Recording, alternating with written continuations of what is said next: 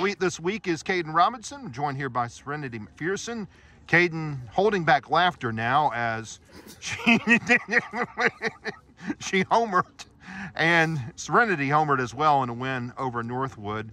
I'm curious, was that the coldest atmosphere you ever played in last night at Western Alamance? Definitely. Yeah. Yeah. How bad was it? Um, the wind chill was pretty bad. I was shivering a little bit. as I was Okay. pitching, yeah. How hard is it to remain focused when you're playing in weather like that?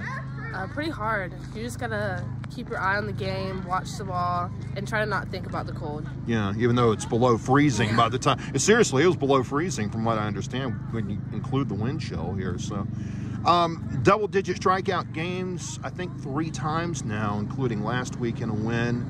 So, how do you feel like this team is progressing right now?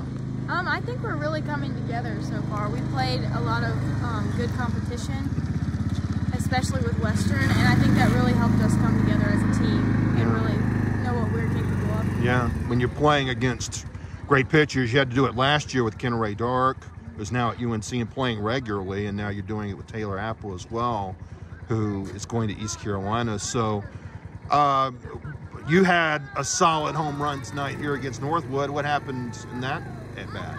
Um, I was really early my at bat before that, so in my head I was just thinking, wait, wait, wait, and then I swung. Yes, and you timed it just right. Yes. Sometimes it bees that way.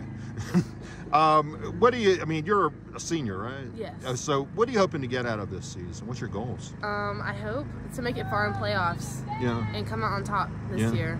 I think we have a good chance. Yeah. Last year made the round of 32.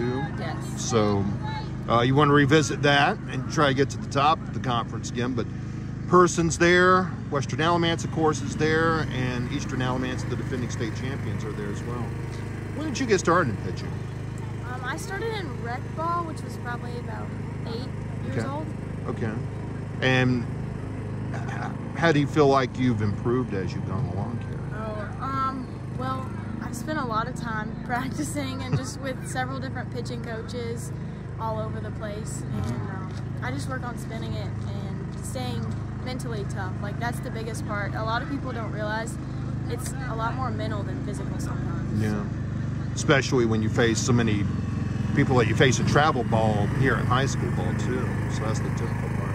All right. Well, congratulations on another conference win. Orange is fighting it out with Person and Western Alamance for first place right now, and they'll be back in action again. I believe Monday is what I heard, Yes.